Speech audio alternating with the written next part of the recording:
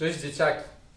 W dzisiejszym odcinku też zboczymy sobie trochę od dinozaurów i powiemy sobie o wielkim wodnym gadzie, który żył w tych czasach co dinozaury.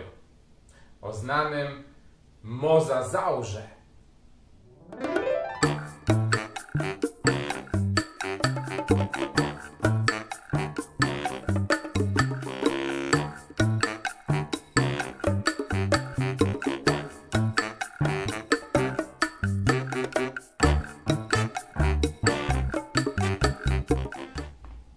Pierwsze szczątki mozazaura zostały odkryte ponad 250 lat temu, w 1764 roku.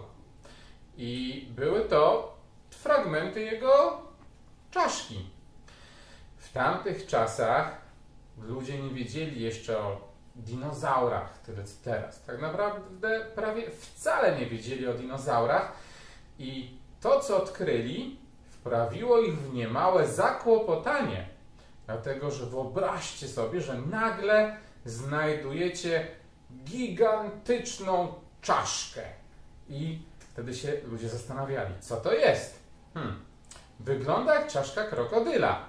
I najpierw sobie pomyśleli, że to są jakieś szczątki krokodyla, który dawno, dawno, dawno temu tam żył.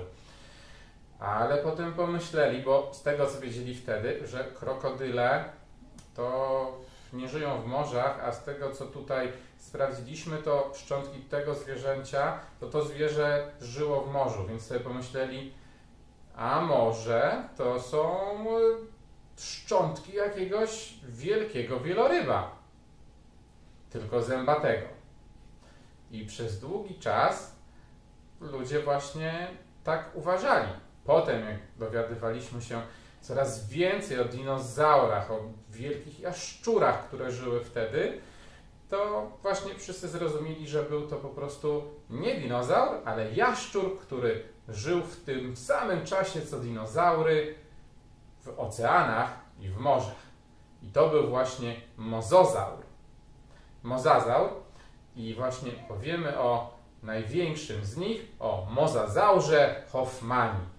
Jeśli chodzi o mosazaura, to jest bardzo znany ze względu na dwie rzeczy. Pierwszą z nich będzie wielkość. Spójrzmy sobie na to porównanie. Na tym rysunku widzicie porównanie wielkości człowieka do mozozaura.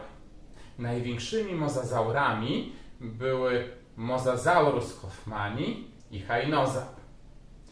Mówi się, że mogły dorastać nawet do 17 metrów. To oznacza, że były dłuższe niż ten autobus, który widzicie tutaj na zdjęciu. Nieźle, prawda? Przy tak dużej długości ważyły nawet 19 ton. Mozazaury były wielkimi drapieżnikami. I właśnie, jedną z rzeczy, z których, jak mówiłem, słynęły mozazaury, była ich wielkość. A jaka była druga? Otóż była to ich drapieżność. Jeśli chodzi o to, co jadły mozazaury, to jadły większość rzeczy, które można wtedy było spotkać w morzach. I to tych większych rzeczy. Często przedstawia się je na przykład polujące na rekiny jak na przykład można zobaczyć na tych ilustracjach. Mozazaury bardzo często jadły też olbrzymie żółwie, które żyły w tamtych czasach. To były znacznie większe żółwie niż te, które spotykamy obecnie. Z badań szczątków mozazaurów wynika, że czasem mozazaur, łapiąc takiego żółwia, gryząc go, potrafił się zranić w paszczę tak twarda była skorupa tych zwierząt. Ale były jednym z głównych pożywień mozazaurów. Tak jak mówię, mozazaury były bardzo dzikimi drapieżnikami. Wiemy też, że czasem walczyły ze sobą. Nie wiemy dokładnie, czy zawsze walczyły na przykład y, dlatego że konkurowały o jedzenie i na przykład chciały zjeść razem tą samą rzecz. Czy na przykład czasem walczyły, bo były, no, można powiedzieć, zazdrosne innego mozazaura, ale też właśnie badając szczotki, szczątki, na przykład czaszki mozazaurów, naukowcy znaleźli na nich ślady zębów innych mozazaurów i stąd wiemy, że bójki, czasem na śmierć i życie pomiędzy mozazaurami nie były żadną rzadkością. A teraz mam dla Was jeszcze jedną fajną rzecz. To jest filmik, który pokazuje, jak mogłyby wyglądać, jak mogłyby wyglądać parki, na przykład w których występowałyby mozazaury. Bo tak jak mówię, mozazaury są dla nas dość niezwykłymi zwierzętami, więc wystąpiły oczywiście w filmie też. Spójrzcie na to.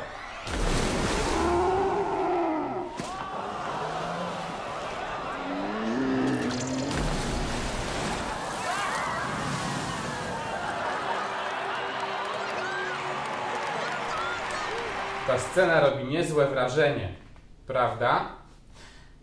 Mam nadzieję, że zaciekawił Was ten niesamowity morski potwór z czasów dinozaurów. Do zobaczenia przy okazji kolejnego filmu. Cześć!